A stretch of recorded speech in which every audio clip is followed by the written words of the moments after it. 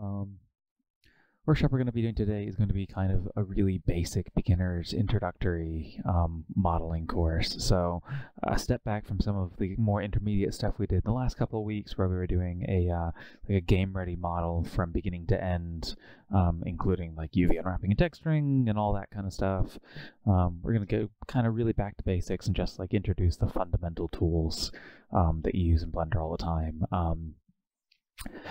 If you're looking at the archive and you missed um, our very first in-person class, um, I do have the slides up for that. Um, there will be a link down in the description. Um, and the first class we did covered all of like the user interface, where the tools are laid out, like if you've never seen Blender before, what's where. Um, so I'd, I'd, catch up on that first and then jump ahead um, jump into this one to sort of catch up with the rest of us. So um, what we're going to be doing today is going to be modeling something really basic. We're going to have a pencil, just a basic pencil in Blender, 100% um, in Blender. We're not going to be doing any you know external texturing or anything, just Blender. So to, to, start off with, what we want to do is add a reference image to our scene so we actually have something that we can use to then model our pencil like based off of. So we can either go down here to the bottom and do add image, reference, or background, or the shortcut for adding um, objects into your scene is Shift A. So Shift A, a as in Apple, um, and it will pop up the same exact contextual menu as the menu down here, but it will do it anywhere your cursor is hovering, which is really nice and convenient. So I'm going to go ahead and add image, and I'm going to add a uh, background image. So the two options there were reference image or background image, and the difference between the two of those is simply that a background image is transparent and it's set um, by default to always be on top. Um, so you can model and you can always see that reference image on top of your, your 3D models all the time, whereas a uh, reference image instead is kind of, it's opaque and it's not set to layer itself always on top of the 3D model, so it will intersect with your 3D models, um, which can be useful in some circumstances if you're like maybe modeling a car body and you want to see the um, as you as you're pushing and pulling on like the hood or the roof or something, you want to see if you're dipping in and out of the um, the reference image. Um, personally, I prefer background images where it's always on top and a little bit transparent so I can kind of always see the reference I'm working on and not worrying about like intersecting and, and covering up um, the reference of, of what I'm trying to actually see I'm working on. So I'll add it to the scene, and you can see that up in our scene collections, we now have an empty that's unnamed. I'll go ahead, double click this, and rename this to pencil underscore ref. Um, and in some cases, I might even do like brackets, ref, pencil, or something, just so that if I'm searching through a giant scene with a lot of things, um, if I want to isolate out just my empties, I'll do brackets and just have EMP at the front of every single empty that I have in my scene. Or if I just want to do bones, or if I just want to do um, reference images and you can do some um, filtering of objects by type um, within within the the context menu here, but um, being able to like naming conventions that help you, even if you um, have multiple images in your scene and some of them are references for one thing, some of them are references for another, having naming conventions set up so that you have things organized and you can always go back and find things later. Super, super useful to get in the habit of doing it. Um, so I have this pencil, this empty of the pencil in the scene. I'm going to go ahead and select it and just grab it and move it up a little bit just so it's sitting on the line in our 3D grid. Um, about there looks pretty much perfect. That's pretty good. Um, and you can see I accidentally clicked and this little um, this little target shaped thing, I accidentally clicked and moved it. So the if I go ahead, I'm going to go to the eyeball and just hide the um, empty for a second. So if I start rotating around in the scene, you'll see that we have our grid where we've got X and Y here. And then if I go to one of the front orthographic views, you can see we have X and Z. From the side, we have Y and Z. Um, the grid here uh, is always showing us um, our units, and we always start from 0, 0 in our world space. However, this little cursor here um, while it starts off at our origin, isn't always at the origin, um, and the origin is 0, 0, 0 in our world space. So you can see if I go to my view here, the 3D cursor which is this little target, can be moved around. When we add an object to the scene, so if I shift A and add like a, um, a UV sphere here, and I'll go ahead and change its radius so it's really obvious, the sphere doesn't start at the world origin, which is over here, it starts at the 3D cursor. So if I move it and create another sphere, it's over here. Um, so the cursor can be really useful for doing things like um, we can tell our uh, transforms to always be based on the cursor. So we can rotate an object around the origin or around some arbitrary point um, by setting the cursor and placing it in a specific place, or add new objects in a specific place, um, and even change the rotation of the 3D cursor. We can make sure that when we click on the surface of, a, of an object, the cursor is oriented so that it is perpendicular to a face. So we can then um, place objects in our scene perpendicular to the face of another object, um, which is really useful but um, it is also really easy to accidentally misclick and move our, our cursor around the scene to places that we didn't want it to, um, accidentally rotate it to angles that we didn't want it to. So what we can do, um, we could either do is go over here to the side of our 3D viewport, to the view panel where we see 3D cursor, and right click in the, uh, in the transforms for the location rotation and hit reset all to default values, reset all to default values, and that will move our cursor back to the origin and reset its rotation, or if we were to move it again, the uh, shortcut for that is Shift and C as in cat. And that will automatically snap our cursor back to the world origin um, without us having to manually go in here. Um, now you will notice that doing Shift C, it doesn't immediately, like that bit of the interface doesn't immediately seem to update all the time. Sometimes it can look like um, the cursor is actually somewhere else, but if you just move your mouse in there, it will like force that bit of the interface to update. Um, a little bit of a bug in Blender. Sometimes um, bits of the interface that you haven't clicked on won't update. Um, it's I'm sure it's an optimization thing so that the, all parts of the screen aren't being updated constantly all the time. Um, but yeah, so Shift C that will reset your cursor to the origin. Um, and so we're going to start by adding our objects at the origin. Um, so that we uh, so that 3D model is sitting at zero zero in the world space, and that's like where we're always starting our objects from. So it's not like some, it's not placed arbitrarily at some random point in our scene. It's always starting from the center, um, which is which is like the the best, um, most useful uh, habitual habitual convention to get into is making sure that your objects are properly centered, that their origins are set at like their center of mass.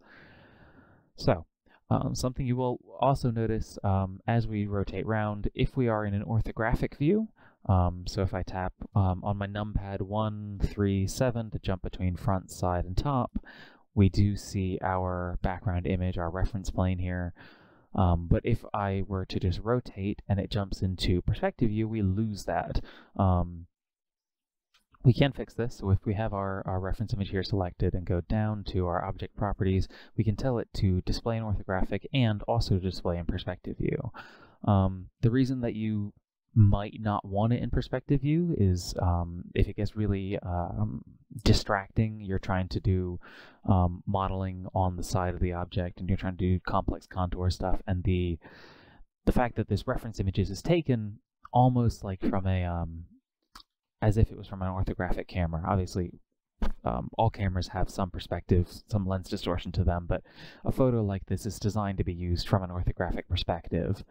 Um, so you get distortions. Um, you're looking at it from this angle, and we don't actually, from this angle, we'd expect to see the bottom of the, the pencil eraser and like the uh, the tip of the pencil like tapering off and into the horizon. But obviously, because the photo was only taken from one angle, we don't get that kind of shift in perspective. So sometimes people like to disable seeing their um, reference images in the perspective view to get rid of that um, kind of discontinuity, which can mess with their brain. Um, but personally, I like to be able to see my reference images at all times. Um, and I like to be able to see them not just from the back or from the front, but from both from the front and the back. So let's go not just front, not just back, but both, and then we can see it from both sides. Super useful. So, to start off with, what we're going to do is we're going to add um, a circle into our scene, and then reduce the number of points on it down to be our uh, hexagonal cross-section of a pencil. So, I'm going to do Shift A, add a mesh, and I'm going to add a circle. And the circle, by default, has 32 vertices, or 30, 32 um, vertices are the points in between edges, so it's 32 vertices, 32 edges um, between these. So I'm going to reduce this down. If we want it to be a triangle, we could do 3.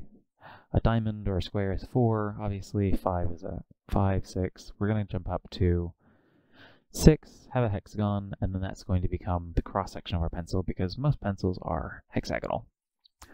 So, jumping from our front view, I'm going to go into our edit mode, so tab, jump over to edit mode,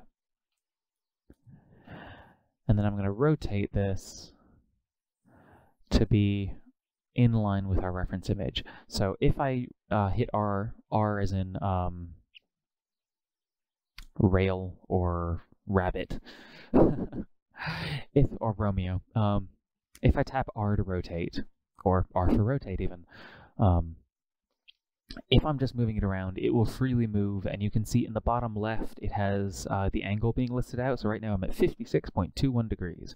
If I hold Control, as I'm rotating, it will snap to 5 degree increments, which is a lot more useful for doing exact um, rotation. So I want to snap this 90 degrees.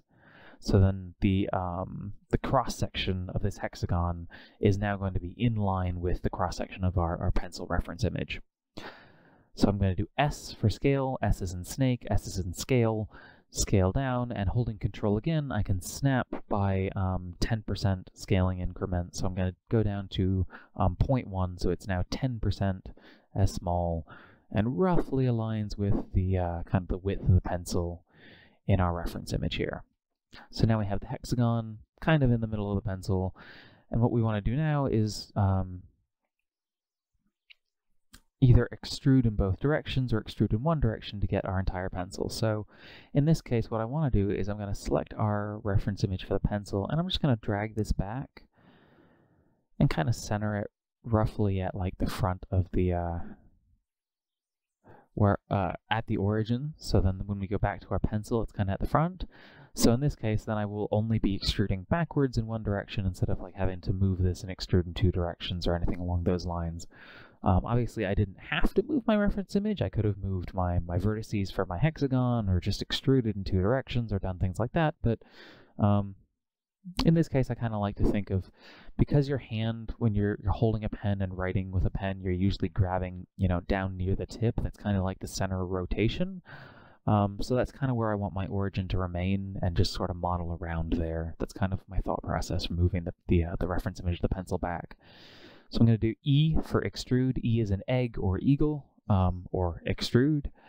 And that will let me start to, uh, it will create new vertices and start extruding, um, creating new edges, creating new faces. Um, and in this case, I can hold control, snap, and start pulling just along the x-axis here. Click, and I can um, to keep moving again, instead of extruding and adding new faces, I'll just do G as in um, giraffe or G for grab. Grab those edges again, hit tap X to constrain them, lock them so they're only on the x-axis, and then hold control to keep snapping to the grid, and just move up to the end of the pencil there. Um, just to the uh, like edge of where the uh, the pencil, the um, eraser cap is.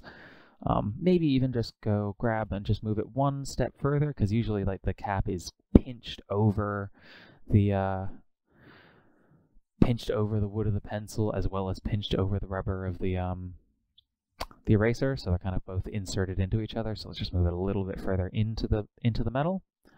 Um, and like I said I want this image to in the depth let's move it on front and let's just uh, use alpha and change our opacity down a little bit so it's always on top and I can kind of see through it. That's what I want. 0.28, maybe, maybe 0.25. So then I can constantly see I've got my hexagonal cylinder and the pencil. Now something I am noticing right now, um, if I hide the pencil, um, there's a sort of weird effect where like I'm seeing the inside of the uh, the hexagonal cylinder here, but not the outside. Um, this has to do. This is an issue called um, our normals are inverted, and so our back faces are invisible. I'll explain what that means. So, the normal uh, of a uh, face in a 3D object is um, the direction that the face is pointing perpendicular from it. So if we jump back into edit mode, um, and we go down to like the, little, the icon down here that looks like two little spheres and grab the uh, the drop down arrow next to it, we have a bunch of options for um, things that we can turn on and off in the world. So we could hide the, the floor grid, we could change the scale of the grid and all these sorts of things um, that we don't want to mess around with right now. But what I want to turn on just just for um, demonstrative purposes is down here under normals, I want to actually show display the normals for my faces. And you can see that now suddenly I get these like blue cross grid in the middle of, of the faces here, and they're all pointing inwards. Um, it'll be a little bit easier to demonstrate if I go ahead and change their size, like 0.01, um, so they're not intersecting. And you can see that all these faces, if I go inside, you can see the faces. If I go outside, you can see that from the back, they become invisible, and you can kind of see through them. So all the faces, their normals are pointing inside of the object instead of outside of the object. Um, and this is a common issue that can happen if you're extruding in one direction to the other. Blender will kind of try to um, like automatically determine what's the inside of the object, what's the outside of the object, depending on what you've done, um, which direction you've pulled the faces. Um, and in our uh, viewport settings here, we can see that um, by default we have this option for back face culling. If I turn that off, everything becomes solid. If I turn it on, the faces, um, because they're pointed inwards, not outwards, we're looking at them from the back, they are being turned invisible from the back. Um, and it's useful, I find it's useful, you need to keep backface culling enabled, especially if you're working with models that are going to be sent to a video game engine, because backface culling is an optimization that video game engines use to uh, avoid rendering objects in situations where they don't have to. So if you're seeing something from the rear um, or from the inside out, backface culling is enabled, you can see through it. Um, so having it turned on in Blender lets you know um, when you've accidentally got your normals inverted, um, and in a game engine your your model would look incorrect and render incorrectly. Um, so the, the fix to this is really easy. We go into edit mode, we make sure that we tap A to select all, and we hit Shift N as in number, um, Shift N as in normal, and it will recalculate our normals. And we can toggle, is it going to be inside, is it going to be outside, um, and just tell it to recalculate what's inside, what's outside, make sure that our faces are pointing, our normals are pointing outwardly. Um, so things are invisible from the inside, but you're not going to be, you're never going to be seeing the inside of the pencil like this. You're only going to be see the, seeing the pencil from the outside. So this is what we want to be solid. Um, so that little bit of a quirk um, that you might not be aware of uh, gives us a little bit of a learning opportunity. So cool, we can turn back on our reference image. Now that we know that our pencil is solid and the normals are facing outwardly, we can continue modeling. Uh, so the next thing I'm going to do is jump back into edit mode. I'm going to hold Alt and select um, the ring at the front. So Alt will select loops of vertices. Um, so I'll select the whole ring at the front here, go to our side view, extrude, tap X to constrain it to the X-axis, and hold Control to just go forward to like the end of the pencil lead there, and click to stop. Then I'm going to do S to scale, and scale this in to like 0.2, and we're starting to get like the front of the pencil there. And to transition between the two of these things, I'm going to Eventually I will like subdivide and smooth off this to make it more rounded. So we'll get like the hexagonal cross section from this side and it'll turn into a, it'll smoothly transition to a cylinder over here, but we'll, we'll deal with that momentarily. Um, but now we'll do one more time. I'll extrude again, constrain to the x-axis and bring it forward um, to the end of the pencil lead, and then this, like these loops of faces will become the pencil lead. Um, now that we fixed our normals, I'll go ahead and turn off, I'll just click and turn off our normals again, just so we're not seeing the blue lines that are really distracting all the time. Um, and what I'm going to do, I could try to scale in these faces, or these uh, vertices into the middle and like scale them to zero, so they all pinch to, to one point. However, that would be you'd have overlapping vertices there and it would be they wouldn't actually be connected um, these faces wouldn't be connected at that point. So instead of trying to scale them all into each other and then have like eight overlapping vertices there what we can do instead is merge all of these vertices into one vertice in the middle and then the uh, the tip of the pencil here will become like a triangle fan of connected faces. So what I'll do to merge um, I can either tap W which will pull up um, the special contextual menu with all of our, um, with a bunch of options for um, edit mode operations, including our loop tools and subdividing, extruding and stuff. And we have merge down here, or the short shortcut for merging, which you can see kind of in faded gray next to the command there is Alt M. So I'll do Alt M, and I want to merge at center. So it'll merge all of those eight vertices into one vertice at the center and turn it into a nice mathematically perfect sharp pinpoint at the center there, which is exactly what we want for like a really, really sharp, pointy, well, well sharpened pencil. So, going back to our front view, the next thing we will do is we will go ahead um, and let's let's add our metal um, pencil uh, cap here as its own separate object because I want to demonstrate a way to use a modifier to do this. So I'll go back to object mode, just tabbing, uh, moving over back to object mode, Shift A to add a new mesh, and I will add a new, uh, let's add new cylinder to the scene. Let's make it a cylinder. Um, and like I said, it's so easy to accidentally mis misclick. Uh, I moved my, my cursor, so let's go ahead delete that. Shift C to reset our cursor back to the origin, and now let's add our cylinder. Um, this cylinder, we can make it like 16 vertices instead of 32. Um, let's change the radius down to uh, like 0.1, I believe is how thick our pencil was. And let's make the depth like 0.2.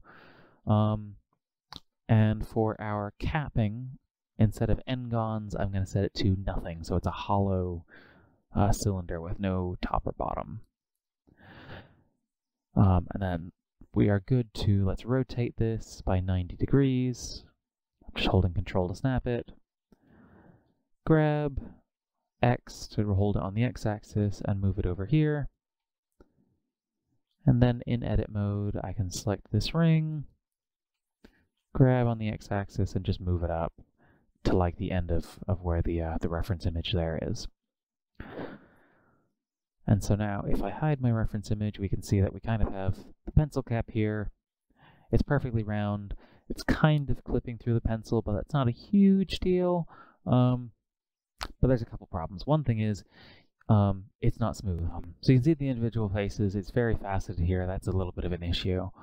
Um, so what we want to do is, what we're doing right now is we're using the flat shading mode, which lets us see each individual face as if it's a flat face, but we want to smooth this out so we can switch it to smooth shading, and then it will sort of blend between these faces and treat them as if it's a smooth circular transition. Um, so we can either go to Object, and then switch between Shade Flat and Shade Smooth here, or again, that special W menu, I can go Shade Flat, Shade Smooth here. So I'll go to Shade Smooth, and that'll work fine. And I'll show a way that it breaks momentarily, but we're going to go to the next step. And the next step is I'm going to add a modifier to this cylinder to give it some thickness. So it has some, so it's not just like perfectly, like infinitesimally thin and one-sided. It actually has some like thickness to it. Um, and so what I could do, I will go ahead, let's, I'm going to duplicate this cylinder just for, for demonstrative purposes. What I could do is in, in edit mode, select all my faces, extrude, scale them out, and just manually add thickness like that. Um, however, on on a pencil eraser, you know that, that they're kind of um, they're pressed metal, they're kind of bumpy and wavy, they got some texture to them. So what if we wanted to to change this up, add some flaring to this, or what if this was wasn't a, a the cap on a pencil eraser? What if this was a a pot or or a, a ceramic dish or a mug or, or something like that. Um, if I wanted to have this be uh, have even thickness, but then change the profile of it, um, if I wanted to add a loop, uh, loop cut here, so Control R to add a loop cut, and then scale this outwards, you know, I'm, I'm flaring it from the outside, but the inside is still the perfect cylinder with perfectly flat faces, and maybe we want that. But what if we want this to be perfectly even thickness all the way around? Okay, so I gotta add a loop cut to the outside, add a loop cut to the inside, make sure I'm always selecting both of them, scaling them at the same time, just to try to keep the even thickness. Um, and then if I ever do something like I'm trying to like round off and bevel the outside, oops, I forgot to select the inside, so the inside's not it becomes very complicated to make sure and manage that you're selecting the inside and the outside always at the same time perfectly evenly and to keep the thickness even. So what we can do instead is use a thickness modifier, only use a one-sided face, and then just dynamically add the thickness afterwards. So we're always working with just one set of vertices and then adding the thickness afterwards as, as like a filter um, and then it, we know for sure that we're always using even thickness and then not having to worry about accidentally selecting or not selecting the inside or the outside of the object. So in object mode, I'm going to go to this little wrench icon. This little wrench icon is our modifiers. And in our modifiers, I want to add, it's called solidify, to add thickness to the model. So I will solidify it, and you can see instantly that I have this little thickness slider I can push in and out. And so let's solidify it, inwardly by like 0.01. And then if I jump into edit mode and make it thicker, make the uh, cylinder a little wider, you can see the thickness is still pressing into the pencil and our cylinder is now outside and it's it's clipping through but it's fine because like pressed metal it would kind of act as if it was clipping through pinching into the model anyway you, you don't need to worry about that too much So in this case, maybe 0.02 is a better thickness. Um, we'll just add thickness until it kind of goes through the pencil, um, just so it, you don't see a little bit, well, maybe not, maybe 0.02, 0.015, so there's a little bit of a gap, so you can kind of see through it, give it some depth to the pencil, but um, the thing I, I want to focus on right now that, that is kind of obviously giving us problems is we switch to the smooth uh, smooth shading mode, but obviously the top and bottom of our um, pencil cap here should be flat because it's like cut flat. It's it's not rounded. It's not um pillowed. These edges should be flat, but the lighting is treating it as if it's not flat. It's as if it's rounded. Um, and so let's go ahead and fix that the, the way to fix that is we want to automatically decide whether or not our normals should be treating it as a smooth shading or, or flat shading. And so in our object properties, I'm sorry, in our uh, object data properties, which is this little triangular, green triangular icon, under normals, you can actually toggle auto smooth and set an angle threshold where it will like set that that edge is sharp and it should use flat shading um, to break the smooth transition between those two edges. So if I set it really, really low to like 15 degrees, because we're using a 16-sided um, cylinder, 15 degrees is too shallow. It's treating all the, the, the edges as if they should be split, as if they shouldn't be smooth shading. Eh, that's not good, because we're basically just using flat shading again. But if we turn that threshold back up to like over 20, 25 degrees, um, by default it's 30, that works perfectly. In some circumstances, you might want to tweak this up, maybe 60 degrees, and then it splits, maybe 45 degrees, and then it splits. It'll depend on your model. But in this case, uh, 30 degrees seems to be working pretty much perfectly for what we needed to do.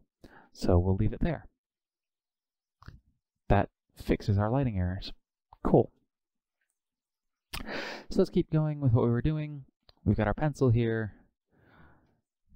We got the cap. Let's turn on our, our um, uh, background image again, our reference image again, and let's go ahead and we'll do one more cylinder and just add in the little pencil eraser. So we'll go ahead, make sure our cursor is at the origin,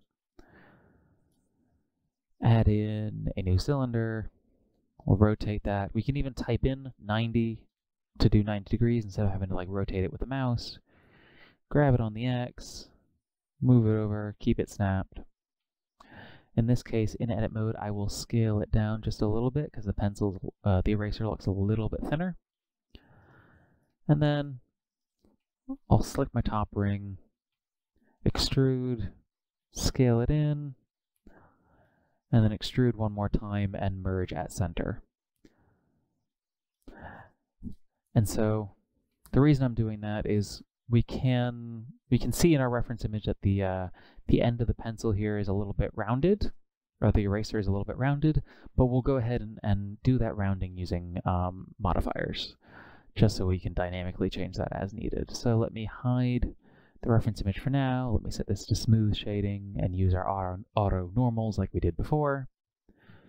And let's play around with some of our modifiers. So to add a little bit of rounding on the edge, um, we could use two different modifiers. We could either use our subdivision modifier, which will is a kind of combination of adding edges. So if I go to my wireframe view, as I turn this up, it adds edges.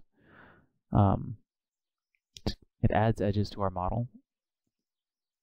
So it makes it higher density. If we look down in our information, we can see that faces are like 3,000. If I do another layer, we're now at like 22,000 because it's always like doubling the, uh, the number of edges. Um, but it's also performing a smoothing operation at the same time, so that actually looks pretty good for like what we want for a pencil shape, um, for a pencil eraser shape. But it's also really inefficient because we can see that now we're up to 22,000 um, uh, triangles just to get a pencil eraser shape. Um, the alternative to this is that instead of just doing a, um, a subdivision, which is doubling the vertices every time, every level, and smoothing everything, we could use the bevel modifier and use some of these um, limiting methods to only do the bevel on the edge. So let's limit it by angle, so we're not beveling every edge. And just like our um, our automatic normals was uh, only applying you know, it was breaking the, the sharp edge at anything over 30 degrees. In this case, the bevel is only going to be applied to anything over 30 degrees. So the focus of a bevel is just on what was previously, you know, this harsh 90 degree angle here, and not on the smooth edges of our cylinder. So bevel, limit by angle. Um, I can make the thickness of this, the offset of this, bigger or smaller. So let's make this smaller. And then just turn up the number of segments so it's a smoother transition. So now it's like eight segments. So if we were to go to wireframe view, we can see this is eight sides. If we turn down the number of segments to, you know, three, we've got three segments. Turn it up to like six, we've got six segments. Go back to solid view. And you know what? Six segments, looking pretty decent there. Um, and if we wanted to, like if we look at it from the front, we go, ah, the uh, the 16-sided cylinder is is not smooth enough. It's it's too stair steppy. I want this to be even smoother. We can actually add a subdivision modifier after the bevel and not have to use so many levels of it. So we could go ahead and do our subdivision and just do like one or two levels of it. And now see we're only at 4,000 instead of 22,000 triangles but the final effect is a lot smoother and cleaner than if we were just trying to use the subdivision modifier. Um, so let's go ahead and use the subdivision modifier on the uh, the pencil cap here as well, a little crimped cap. So what if we were to use the subdivision modifier here? Ah, a little bit of a problem. Um, the subdivision modifier, because it's smoothing, it's smoothing everything evenly, um, we get kind of a, a napkin ring effect because suddenly, like the what used to be um, flat, sharp edges on the cylinder here are now kind of being smoothed off and rounded into like this ovular, um, elliptical shape because it's trying to smooth everything. We want to keep those sharp edges. So what we can do in this case um, is go ahead and add a crease, and we want a crease on the edges. So on our inner and our outer edges, adding a crease to just pinch those edges and make sure that even if we um, add a bunch of subdivision smoothing afterwards, those edges remain creased and pinched. So that's perfect. So now from this side, you know, as we toggle on and off our subdivision modifier, we can see, um, or even as we jump into edit mode, our underlying model is really low poly, easy to work with and then our subdivision modifier is dynamically upresing the uh, geometry to a higher resolution and smoothing it out to an acceptable level for us. Um, and obviously, if this were a pencil in a video game, you know, even 12,000 triangles for that pencil in a video game would be far, far, far too many. Um, we would really want to optimize it, but for like a close-up in a VFX shot or just for the demonstration of this modeling tutorial, we're not worrying about optimization too much in terms of reducing our number of faces. Um, I wanted to show here how to use the bevel modifier because it's a really powerful, useful modifier, but we're not worrying too much about like our number of edges and faces. Um, so let's go ahead and let's do the same thing um, here. Let's smooth this out because we can smooth out the front of the pencil to be round and then sharpen up our edges to keep our like um, hexagonal pencil shape here um, by using creases. Just like we were using creases here, we're going to use creases here. So I will add my subdivision modifier, turn it up a couple levels, and you can see that everything gets smoothed out evenly. But we want to keep, in edit mode, we want to keep our hexagonal cross section. Um, so what we can do is actually, if we select by hand, I'm holding shift and selecting these edges, or I can do a ring select, but holding shift, uh, um, sorry, holding control, a ring select that selects, um, instead of a ring, uh, if I, normally if I select a ring, it will select a ring like that, um, of all the edges um, that are kind of tip to butt, tip to tip to tip, point to point to point. But in this case, what I want to do is I'm selecting a ring of edges that are all um, like parallel to each other, connect um, with connected faces. So it's like each of the faces are uh, uh, the edges are facing this way to each other, but they're interconnected with faces touching each other. So if I hold Alt and Control, you can select um, parallel rings of edges instead of just interconnected rings of edges, um, which is super useful. So I'll go ahead, I'll select those, or I could have selected them manually, and I will turn up the crease just for those edges. So underneath my, up here, the top one item, I can either turn up the mean crease by turning up this, uh, this slider, and you can see that it starts to like sharpen up the edges of our um, you can see it sharpening and like pinching the edges of our cylinder outwards. Um, the other thing I'm going to do really quickly is turn on our smooth, shading mode, turn on our auto smooth just so it, we don't get like the stair-steppy effect. So going back to edit mode, I can either turn up the mean crease this way and you can see that it sharpens up the, uh, the edges of our pencil, or the, uh, the shortcut for doing mean crease is Shift E as an egg, and then I can drag my mouse to turn up. So I'll drag my mouse all the way up, turn up the creasing. Um, but then the other issue is that the pencil starts to like smooth front to back as well as around the um, the diameter of the pencil. So it's smoothing. It's uh, it's not just smoothing in this direction, it's also smoothing in this direction. It's smoothing in all directions at the same time. Um, so we actually want to also select the ring of vertices here and add a mean crease here and just pull the uh, the transition forward, pinch pinch the transition forward here. And we can do like an intermediate. Maybe we want to do, you know, all the way, or we could turn it down a little bit. In this case, I'll just turn it up all the way. And so we get that kind of um, that like pencil sharpener effect where we're getting kind of an arc where we go from the body of the pencil into like the the pencil sharpeners rounded it off. So that kind of works for us. Um, it's not super pretty. It's not what I do ideally, but for like a beginner's guide, this works perfectly well for modeling a pencil. So that's pretty much all the modeling done for now. That's all we really needed. Um, but why don't we just make this look pretty? Let's let's actually make this look like um, a pencil. Let's add some materials to this. So this little uh, sphere uh, or circle with like a, a grid pattern applied to it, that little button, that icon, this is our material panel. So we can start adding materials to our object.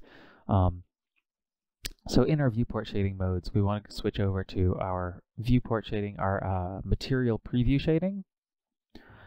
So when we start adding materials, we can actually preview what they'll look like, not just like a flat the flat shading mode you get in um, in our solid shading. We want material preview, so we see what our final material will look like.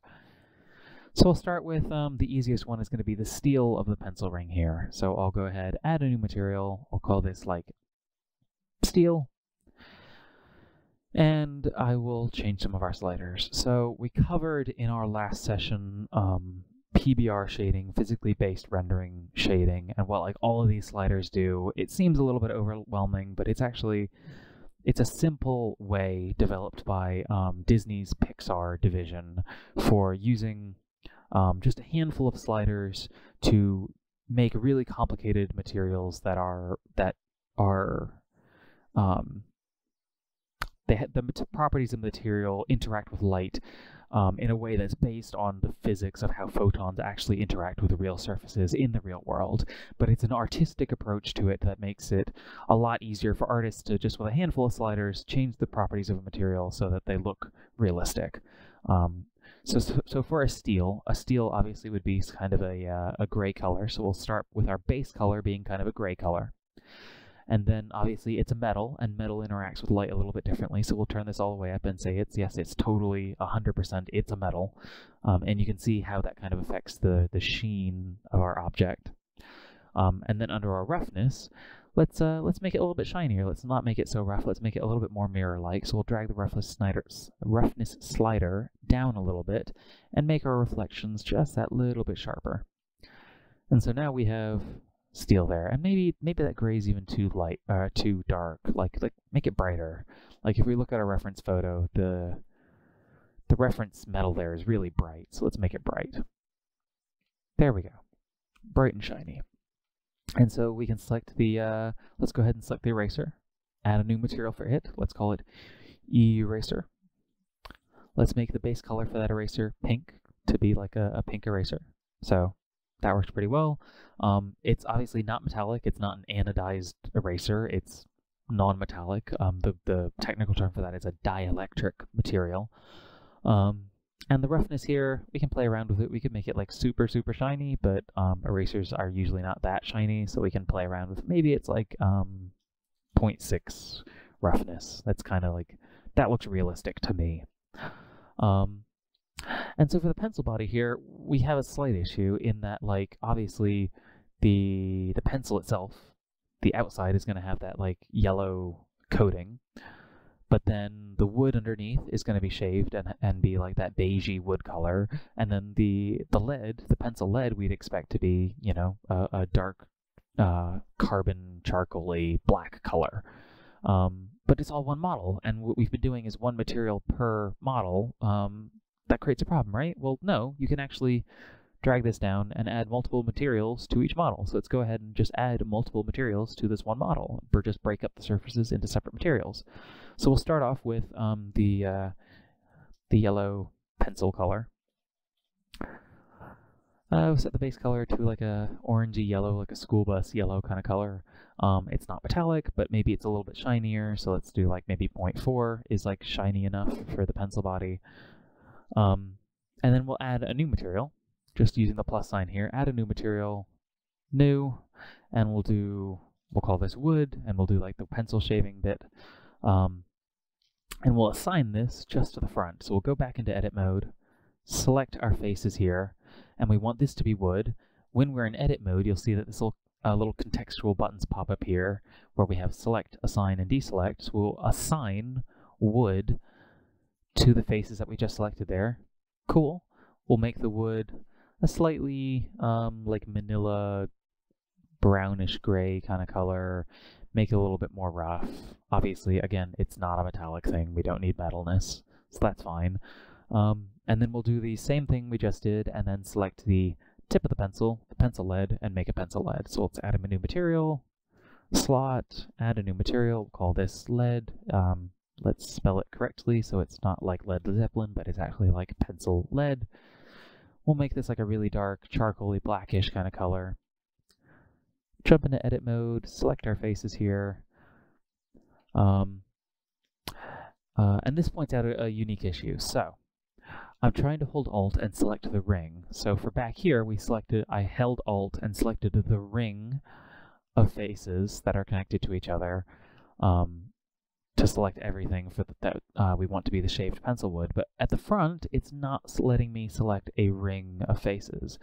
Um, the reason for that is that we merged all of these vertices to one point at the center. So actually, if we look at it from a front view, this is actually a fan of triangles, whereas here we have a ring of um, squares, of rectangles. So let me let me go ahead. I'm going to add a circle to our scene. Let's turn up the number of, of vertices here to like 32. And I'll just drag this over just for demonstrative purposes, and I'll jump into edit mode.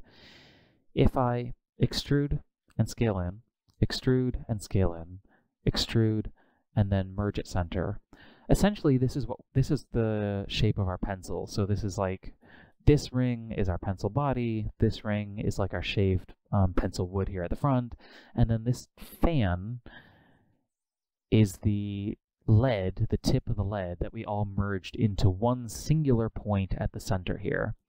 And you can see I can select a ring here, I can select a ring here. I can't select a ring for the fan at the center. Um, and the reason is that selecting a ring in Blender, what you're doing is it, it uses the flow of the edges um, one into the other to determine how a ring of faces actually connects to each other. So in the case of um, uh, quads, four-sided faces here, you can see that we have, um, I'll go ahead, and add myself a new, new little note pencil. We have edge, edge, edge, edge. We have four edges making up this quad face. And when it comes to squares or rectangles in algebra or in geometry, um, you always have two edges that are parallel to each other or that are, are across from each other. So there's always these two edges and these two edges are connected by two edges. These are parallel, these are parallel. So obviously 1 and 2 are parallel, 3 and 4 are parallel. And so if I were to, to, determine like the directionality, um, which is a weird term for it, but the direction of, of a loop of faces, um, what I'm doing is kind of connecting parallel to parallel. So if I were to select a loop, I'm going from here to here, from here to here, from here to here, using these sort of um, parallel edges as like the direction of the loop flowing across the surface. So the surface will flow with a direction here, and it will flow with a direction here.